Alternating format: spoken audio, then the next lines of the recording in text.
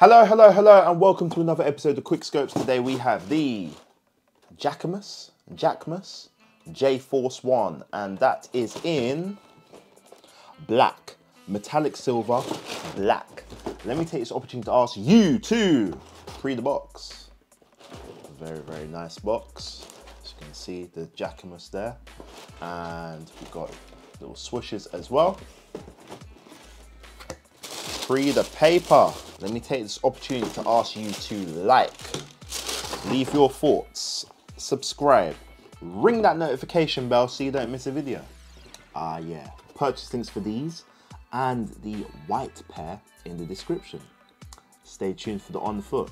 So yeah, let's start from the soles up. So we have a black outsole with that Jacquemus in off noir, I believe we have a very interesting midsole. As you can see, we have black um, lacing for the weave and we got, it does look black, sort of off noir um, for the midsole itself, like the two little rubber bits and it's just all bonded together, nice and woven. And then we come to this upper. So this upper is composed of smooth grain black leather. It does feel similar to your GRs, but it does feel a little bit better. And if we start from around the toe, you'll see that we have that black smooth grain leather around the toe and on the toe box. This material also graces the eye stay, as you can see. And at the base of the eye stay, we have an interesting metal dubrae, which features JF1. This dubrae is in a pair of black laces, to the thickness that I like. And these black laces conceal a black nylon tongue. And at the top of this tongue, you'll see that we have a black tab with the J Force One and Nike swoosh in off noir. If we take a look at the mid portion of the shoe, you'll see that the mid panel is again in that black smooth grain leather and we have a swoosh, a very interesting swoosh. So this swoosh is a small metal swoosh as you can see, you usually see this kind of swoosh on the base of the eye stay, but here it is on the mid panel. Very, very different. Going to the foxing, you'll see that the foxing is the same as the rest of the shoe in black smooth grain leather, as is the heel. And the heel has some deboss detailing for the swoosh and the Jacquemus. If we take a look inside the shoe, you'll see that the sock liner is also in black, as is the insole featuring that Jacquemus again in off-white on a black insole. Let me know what you think of this pair. For me, interesting. Very interesting. Obviously, we have to start with that woven midsole. Again, it is just very different. You don't see this on an Air Force One, but this isn't an Air Force One. It's a J Force One. And it, it, it works, I guess, but it's just so different. Um, my queries is the durability of this. How long will this last? Will it be just a one summer thing or something like that? Repair, you know, look at it. It's literally a lace that interlocks the upper to the base of the shoe. What happens if that if that gets severed, damaged or anything like that? You know, how do you clean it? Well, this is the black pair, um, so cleaning wouldn't be too bad compared to the white pair, which I've already done a review of. Um, but yeah, let me know what you think. Are you concerned about that aspect? Remember as well that there is no glue between um, any of this, which is a real, a real spectacle right there in itself.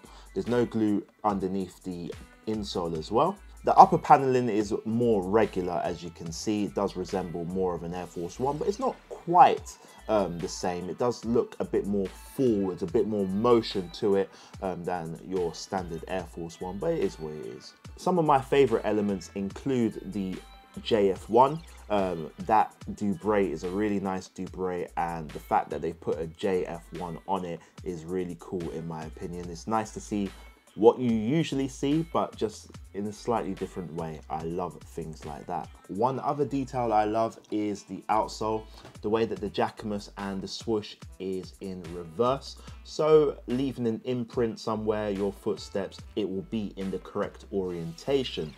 I find that really, really cool.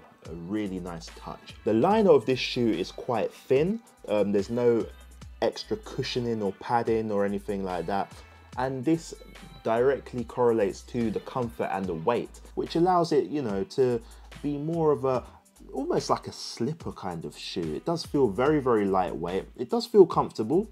There's no compromise there, but it does, you know, it doesn't feel like a normal Air Force One, but it does fit like an Air Force One. So go to your normal Air Force One size. As you can see, we have a pair of black laces in this one, which is perfect, of course, but I don't think you can do a lace swap here. As you can see, we have leather aglets, which are much wider than the holes of the shoe. So how do you get the laces out? I don't know if you have to destroy them or something like that if you want to do a lace swap. I really advise against that. These laces are really nice, normal, good quality thickness, and this aglet matching the aglet on the midsole for the um, stitching. But yeah, it's just why did they do that? Why why can't you change the lace? I, I don't understand. You know, you might not want to, you might want a different lace or something that suits your outfit better.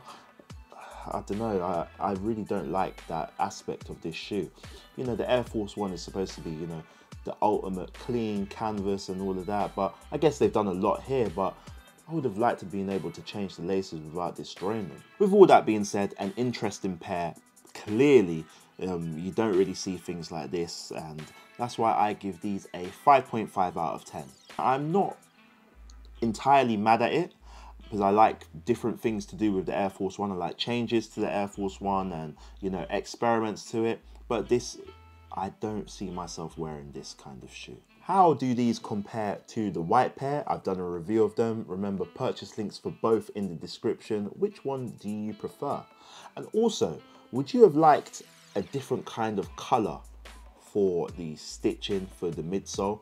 Uh, maybe a rainbow stitch or yellow or something or how would you like to see this kind of silhouette go on? Or do you think just the two pairs the white and the black that's it? Anyway I've been Schopes. Thank you so much for subscribing sharing your thoughts. It is always always appreciated.